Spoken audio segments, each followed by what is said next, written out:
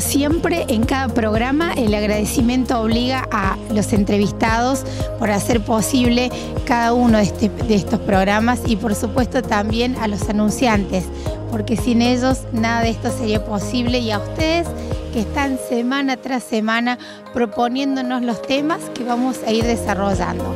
Así que a, ustedes y a todos los convoco para que la próxima semana nos volvamos a encontrar en otro programa más de Marisa Kazán TV.